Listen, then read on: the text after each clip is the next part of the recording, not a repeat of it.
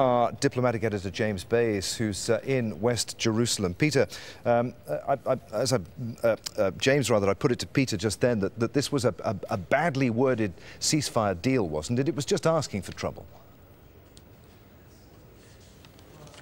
Well, I think they spent a lot of time trying to come up with the ceasefire words, something that both sides would agree to. So that's the difficulty, of course. You try and find some wording that you can get everyone to sign up to. And I think in some ways the wording was a little ambiguous. When you look at the actual wording of the text that was released uh, by the United Nations, it actually gives no details at all about what the Israeli military were allowed to do in this ceasefire period, other than the fact that they were allowed to stay in place. It was John Kerry, when he spoke uh, to reporters in India, the US Secretary of State said that in his view they were allowed to continue defensive operations behind their front lines, behind the point where they had got to. That, of course, then begs the question, and you were asking uh, the spokesman of the Israeli military a short time about it, whether the Israeli uh, military had actually advanced from where they were, whether they had gone forward, because that, it seems, would would be a breach of John Kerry's understanding of this wording uh, that uh, certainly, or, sort of John Kerry's understanding of the agreement that was in place for this 72-hour humanitarian pause, Adrian. And uh, James, you, you, heard me talking to Peter Lerner about uh, the, the, soldier that the Israeli military suspects has been uh, abducted, that is missing at the moment. They've, uh, they've mounted an operation to try to, to, to, recover him. How will, will that be seen there, it, or be seen in Israel?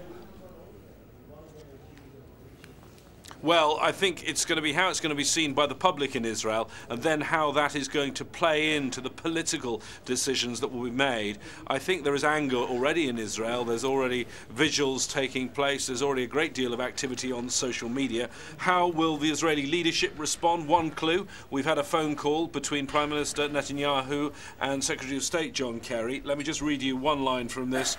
Uh, it says that the Palestinians unilaterally and grossly violated the humanitarian ceasefire and attacked our soldiers. And uh, Prime Minister Netanyahu goes on the consequences of the act.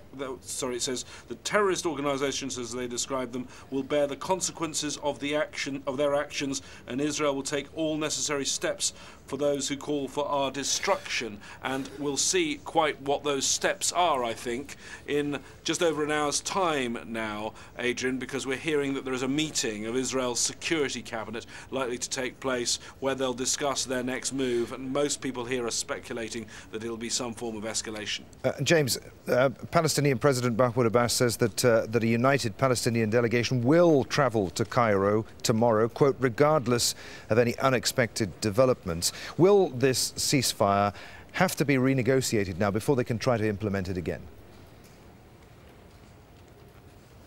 Well, I suppose that is possibly one positive development that that trip is still going on. Whether the Egyptians are actually going to be there to greet them and whether there will be any sort of talking is not clear at this stage. Mixed messages coming from the Egyptian side.